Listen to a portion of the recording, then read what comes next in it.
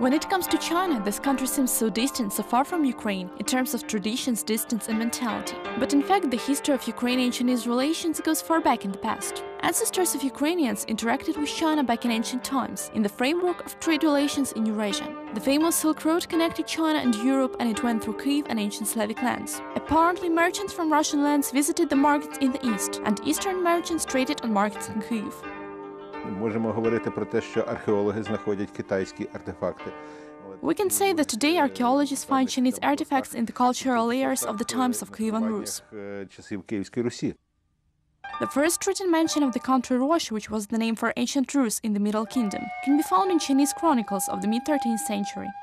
Середина 13 століття в е, Китаї. In the middle of the 13th century in China, which at the time was captured by the Mongols, the Mongol dynasty Kublai Khan ruled. it is mentioned that his guards were recruited entirely from the country Roche. It seems obvious that our land was the supplier of staff for the Chinese emperor.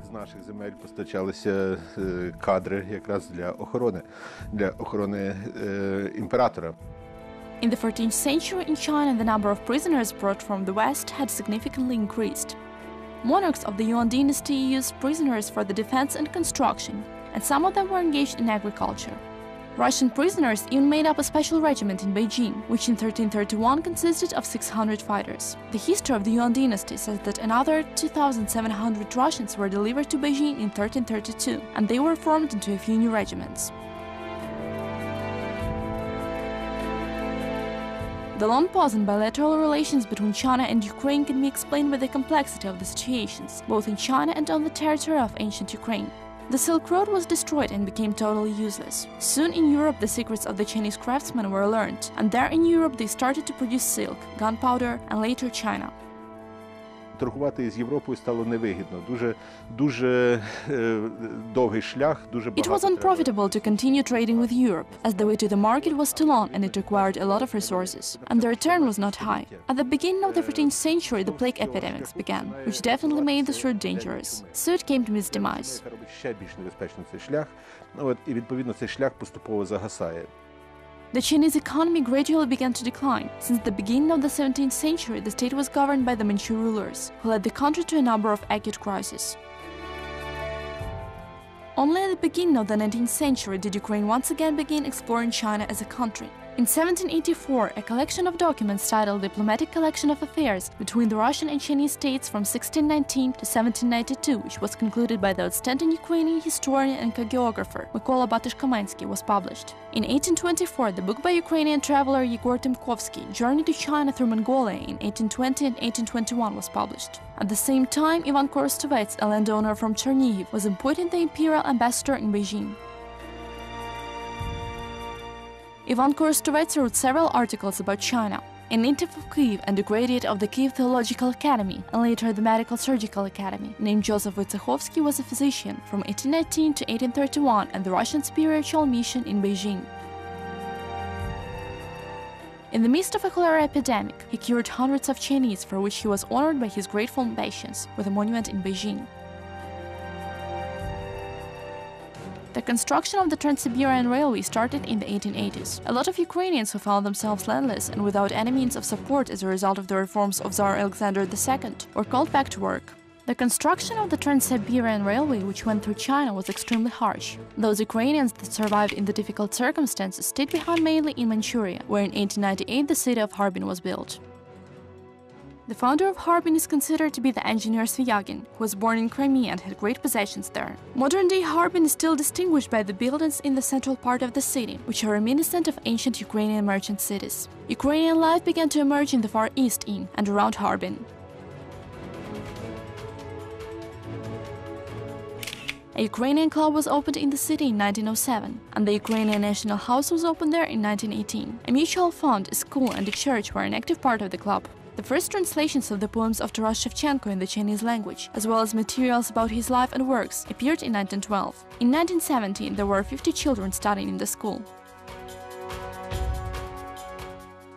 During the revolution of 1917-1921, a lot of immigrants moved to Harbin. The consulate of the Ukrainian People's Republic was based there. It was headed by a native of the Poltava Oblast Pyotr Twardovsky. In 1921, the poems of Ivan Franko and Lesya Ukrainka were published in the Chinese translation. There were two acting Ukrainian Orthodox churches in Harbin. One of them, the St. Mary's Church, is functional there to this time.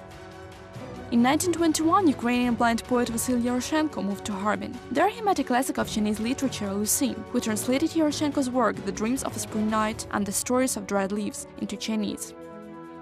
Lu Xun said that he decided to do the translation of Yaroshenko's stories because they are permeated with love for China and its people. In February 1922, Yaroshenko received an invitation to become a professor at the Peking University.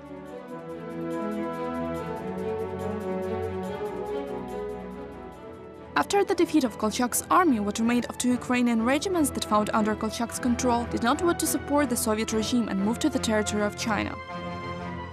By the end of the 1920s, there were more than 40,000 Ukrainians living in Harbin. The same number of Ukrainians lived in the rest of the mainland China. By that time, there were several Ukrainian organizations, for example, the Manchu County Council, Education and the Ukrainian Community. There were also Ukrainian newspapers and magazines. In 1932, Japan occupied Manchuria and turned it into a puppet state called Manchukuo. It was governed by Chinese Emperor Puwan. Ukrainians immediately declared their loyalty to the new head of Manchukuo. The attitude of the emperor to the Ukrainians was positive.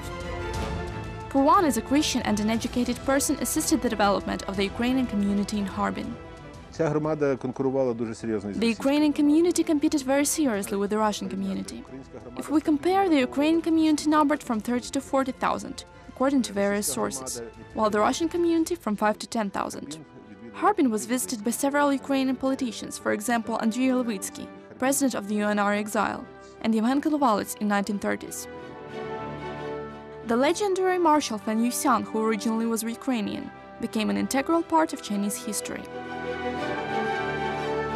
His real name was Irenei Fant, and he was a native of Zakarpattia. In the 1890s, he immigrated to the United States. He was a sailor first, and then he worked as a miner and prospector in Alaska Найнявся на службу у на військовий корабель. Irenei Fant was hired on warship. During the war between the US and Spain, he received a commission and then he resigned. And then, when he was trading various Chinese herbs, he met a Christian girl in China, Потім, е, е, торгуючи е, whom різними he married and moved to live in China, where he studied to serve Chinese President Yuan Shikai. одружився з нею і переїхав е, жити у безпосередньо в Китай, де прийшов е, на And службу accordingly, he took the name Fan Yuxian. е, президента Китаю і е, відповідно прийняв е, е, китайський е, китайське ім'я, взяв Фен He Юсян. was a military advisor to the prime minister, and then he became a marshal and a commander of the North China Army. During the Second World War, he actively helped the guerrilla movement against the Japanese aggressors. Фен Юсян пізніше, вже після э, Другої світової війни, він э, відвідуючи радянський союз, э, він плив на After the Second World War during his visit to the Soviet Union, Feng Yuxiang died when he was sailing on a ship with his daughter, and near Odessa the ship caught on fire. His body was taken from Odessa to Kiev, where it received great honors, and then it was flown to Beijing, where he was buried. And today he is one of the figures that make up the modern Chinese pantheon Похований теж з великими почестями. І сьогодні це одна з е, тих постатей, які, є- яка становить основу новітнього китайського пантеону. The end of the Second World War, the fall of Manchukuo, the entry of the Soviet troops into Manchuria, and then the proclamation of the People's Republic of China in 1949 forced Ukrainians to leave China.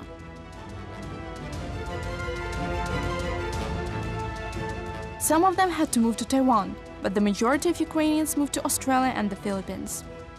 The new Chinese leadership initially tried to treat the minority with roots in the Soviet Union loyally. But after the deterioration of relations between Mao Zedong and Nikita Khrushchev, Ukrainians suffered persecution and repressions.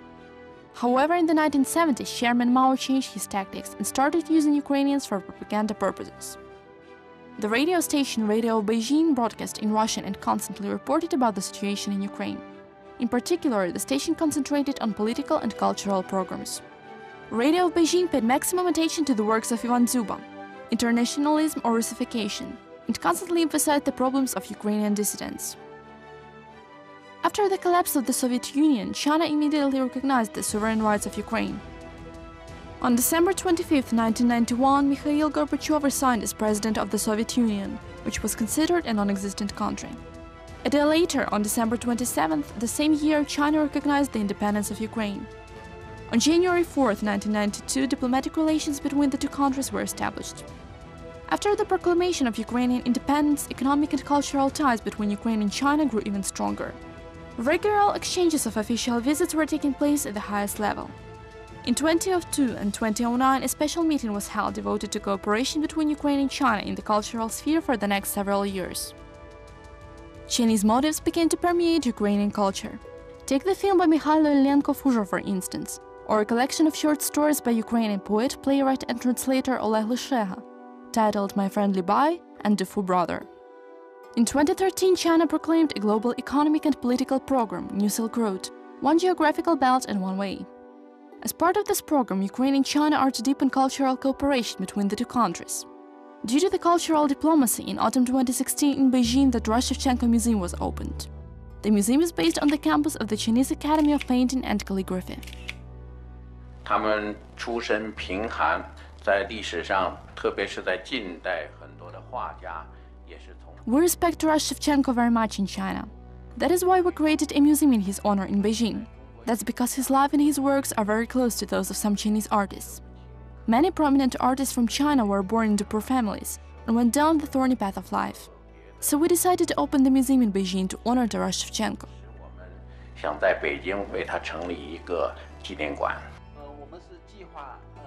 Every year on March 9th, we open the updated exhibition. Why this year precisely? Because it is the birthday of Taras Shevchenko. Every year we prepare for the date. The uniqueness of this museum is that it is the world's first museum dedicated to the creative work of Shevchenko, and it was created not by the Ukrainian diaspora but by the Chinese people. Of course, this is a very good sign showing that China is interested in the Ukrainian identity, its culture, and history of the relations between the two countries. This will most likely open up great prospects that will bring Ukraine and China even closer together.